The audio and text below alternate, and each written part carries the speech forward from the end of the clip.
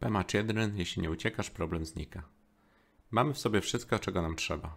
Nie musimy siebie ulepszać. Cały ciężar, który niesiemy na własnych barkach, obezwładniający lęk, że może jesteśmy źli i nadzieja, że może mimo wszystko jesteśmy dobrzy, te wyobrażenia o sobie, do których tak się przywiązujemy, wściekłość, zazdrość, uzależnienia, wszystko to nawet w najmniejszym stopniu nie narusza naszego najgłębszego wrodzonego bogactwa. To jedynie chmury, które na chwilę zasłoniły słońce ale ciepło słońca, jego światło nadal tu są. Tym właśnie jesteśmy. Od pełnego przebudzenia dzieli nas jedno mrugnięcie powietrza.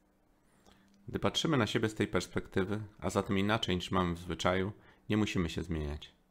Możemy czuć się najbardziej nieszczęśliwi na świecie i wciąż być dobrymi kandydatami na buddów. Nawet gdy czujemy się jak ostatni śmieć, to z tej perspektywy doświadczenia to jest naszym bogactwem. Nie musimy tego odrzucać lub naprawiać. To, co w nas obrzydliwe, czego tak bardzo w sobie nie lubimy i bardzo nie chcemy, jest naszym bogactwem. Także to, co w nas zachwycające, co tak bardzo w sobie kochamy, z czego jesteśmy dumni, co nam niesie natchnienie, to również nasze bogactwo. Praktyki opisane w tej książce możesz zacząć w stanie, w jakim właśnie jesteś. Jeśli czujesz gniew, żyjesz w biedzie, dokucza ci depresja, te nauki przeznaczone są właśnie dla ciebie. Dodadzą ci odwagi, abyś wszystko to, co się w Twoim życiu nie podoba, mógł wykorzystać do przebudzenia współczucia wobec siebie i innych. Praktyki te uczą, jak akceptować samego siebie, jak zrozumieć cierpienie, jak przestać uciekać od bolesnych aspektów życia.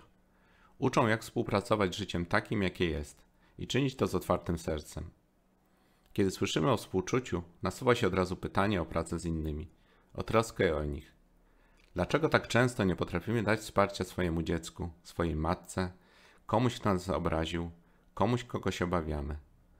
Dlatego, że nie potrafimy życzliwie wesprzeć samego siebie. Mamy w sobie tak bardzo bolesne i niechciane miejsca, że ilokroć zdarzy się ich dotknąć, rzucamy się do ucieczki. Gdy uciekamy, omija nas jednak doznanie tu i teraz. Bycie w samym centrum wydarzeń. Omija nas konkretna chwila, w której jesteśmy. A przecież gdy jej doświadczamy, odkrywamy, że jest niepowtarzalna, bezcenna i za każdym razem nowa nigdy nie zdarzy się ponownie. Możliwe jest docenienie i świętowanie każdego momentu. Nie ma nic bardziej świętego, nic bardziej nieograniczonego i absolutnego, a tak naprawdę to jedyne co jest. Dopiero gdy zaczynamy rozpoznawać własny ból, gdy udaje nam się zrozumieć, stajemy się zdolni do okazywania nieustraszoności, odwagi i innych cnót wojownika. Możemy wówczas poprzeć także ból innych istot. Potrafimy wziąć na siebie ich cierpienie, ponieważ rozumiemy, że nie różni się ono niczym od naszego. Niemniej, aby to osiągnąć, potrzebujemy pomocy. Żywię nadzieję, że ta książka właśnie ją niesie. Najpierw musimy jednak użyć trzech narzędzi. Są to siedzenie w medytacji, podstawowe praktyki shamatha i vipassana, praktyka przyjmowania i dawania, tonglen, praktyka pracy ze wskazaniami, lodziąg, 7 punktów ćwiczenia umysłu. Dzięki tym praktykom budzimy w sobie wiarę, że potrzebna nam mądrość i współczucie mamy już w sobie. Poznajmy więc siebie, zarówno to, co w nas szorstkie, jak i to, co delikatne. Nasze namiętności, agresję, ignorancję i mądrość.